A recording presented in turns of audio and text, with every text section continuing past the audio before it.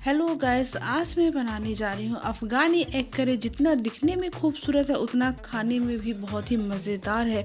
तो बिना टाइम गवाए, बिना टाइम वेस्ट किए हुए, चलिए हम इसकी रेसिपी जो है स्टार्ट करते हैं। तो सबसे पहले मैंने कढ़ाई रख दी है और उस पर डाल देंगे ऑयल और मैंने प्याज वगैरह सब कट करके रखा था। और देखिए, प्याज मैंने तीन बड़े प्याज लिया है, उसे भी कट कर लिया है और ये है ग्रीन चिली इसमें हम रेड चिली का यूज़ नहीं करेंगे, सिर्फ़ ग्रीन चिली का यूज़ करेंगे। जितना आप खाते उतना आप डाल देना। और इसमें डालेंगे अदरक लहसुन और इसमें डाल देंगे काजू पाँच से छः काजू लिए हैं और इसमें डालेंगे कुछ खड़े मसाले जैसे कि काली मिर्च हो गया लौंग हो गया और दालचीनी हो गया और ये तीन से चार मैंने इलायची ली है हरी इलायची ये भी डाल देना है और इसे कलर चेंज होने तक इसे पका लेना है और अब देखो कलर चेंज हो चुका है ब्राउन हो चुका है अब इसे हम निकाल ठंडा होने के बाद मिक्सर के जार पर धनिया पत्ती डालकर ज़रूर पीसना है मैंने इसे दिखा नहीं पाया इसका वीडियो नहीं ले पाई।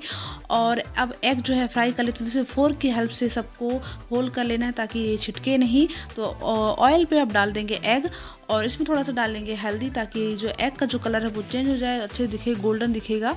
तो देखिए एग भी फ्राई हो चुके हैं, अब इसे हम निकाल देंगे। और जो भी मैंने अदरक, लहसुन, ये सबका काजू का पेस्ट बनाया था, वो भी तैयार हो गया। इसमें धनिया पत्ती डाल के पीसना है और भूलना नहीं है। और अब तेल जो है गर्म हो चुका है, उस पर डालेंगे जीरा, आधा चम्मच और ये तेज़ पत्ता डाला है मैंने। और बाकी कुछ खड़े मसाले नहीं डालने हैं, पहले ही डाल दिया है मैंने। और इस पर आप डालेंगे वही पिसा हुआ पेस्ट बाहर रेस्टोरेंट ढाबा से खाने से तो अच्छा है, आप घर पर ही बनाएँ और खाएँ, अपने फैमिली को खिलाएँ। और इस पर डालेंगे कुछ मसाले, जैसे मैंने लिया है जीरा पाउडर, आधा चम्मच और काली मिर्च का पाउडर, आधा चम्मच लिया और इसमें कोई मसाले नहीं डालना है, जैसे गर्म मसाला हो गया, लाल मिर्च का पाउडर, ये सब नहीं डालना है, धनिया पाउडर भी नहीं डालना है। और स्वाद अनुसार नमक डाल दीजिए। अब इसमें थोड़ा उसमें डालेंगे दही। दही जो है आधी कटोरी लिया, इसको अच्छे से फेंट लिया है मैंने। और दही डालते वक्त जो है गैस का फ्लेम एकदम लो करना है।